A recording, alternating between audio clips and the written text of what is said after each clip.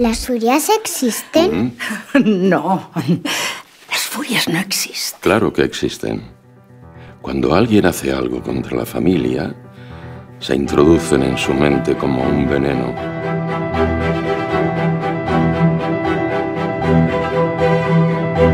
Por eso hay que tener mucho cuidado con lo que uno hace con los suyos. Nunca sale gratis.